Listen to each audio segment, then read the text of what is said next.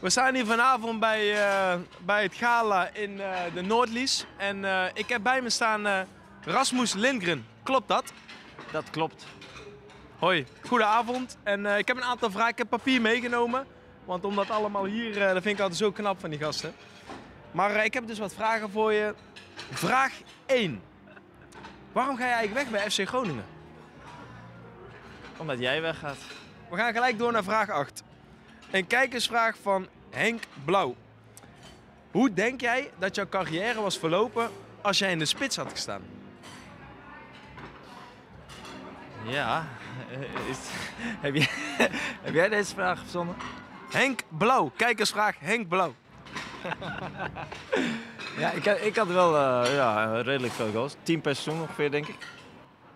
Ja, ja, het lijkt heel simpel goals maken, maar uiteindelijk eh, is dat vrij lastig, kan ik jou vertellen. Jij eh, gisteren... Roesnak.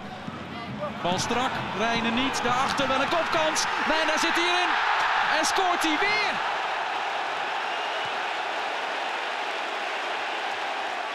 Ja, dat is wel een lekker gevoel. Ken jij, hè? Uh, laatste, laatste tijd niet.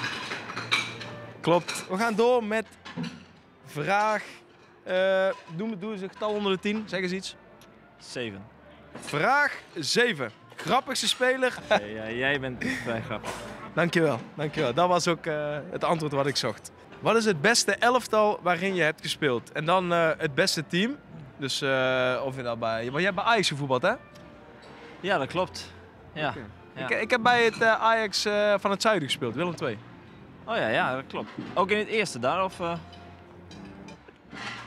Maar eh, het beste elftal. Eh, wie stond er op nummer 10 in jouw favoriete elftal? Michael de Leeuw. Koek, koek. Oké.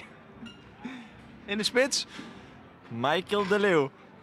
eventueel rechtsbuiten. Michael de Leeuw. Dat was het favoriete elftal van Rasmus Lindgren. Rasmus, bedankt. Ga de hand zweet. Van beide kanten. Ja, ja, ja.